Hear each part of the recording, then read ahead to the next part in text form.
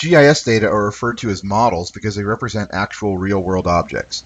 It's important that they model the real world as accurately as possible. Often GIS data sets will have thousands of features and it can be really challenging to verify the quality of such large data sets by visual means alone. So using topology rules, we can test our data to ensure that it's well constructed and modeling the real world properly. In this task, I'll use the Topology Checker plugin to investigate the quality of two datasets, the bus routes and bus stops.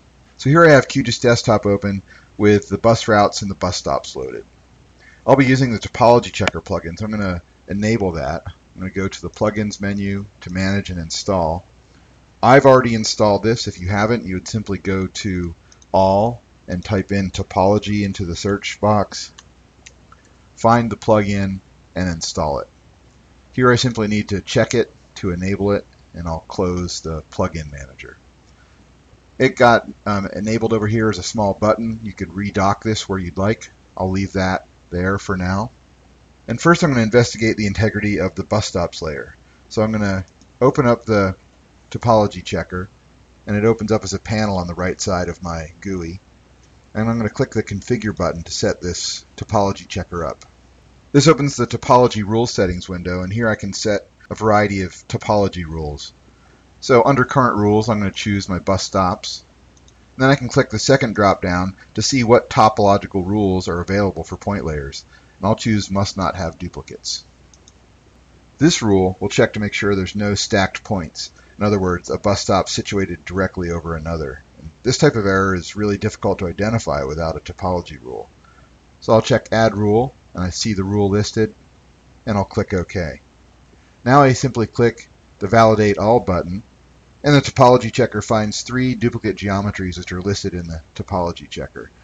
Additionally, the duplicated points are highlighted in red on the map. You can see the three locations here that have duplicated stacked points. And note, you can also zoom into an area and just choose the Validate Extent button to test the topology just within the visible extent. To fix these, you'd simply toggle editing, select the duplicate feature by their feature ID, and then delete the duplicate. So now I'll examine the bus routes. I'll click the Configure button again, and I'll select and delete the topology rule for the bus stops.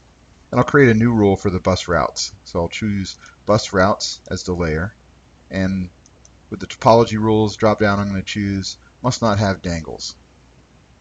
This will check for endpoints of a line, and you might expect that since these data are only a portion of an urban area, and there are bus routes heading off the map, that those dangle endpoints would be identified. However, there shouldn't be any in the middle of the network. So I'll click Add Rule, and click OK. And now I'll validate the topology for this rule. The topology checker finds 25 errors of this type. Many are the expected ones at the edge of the map.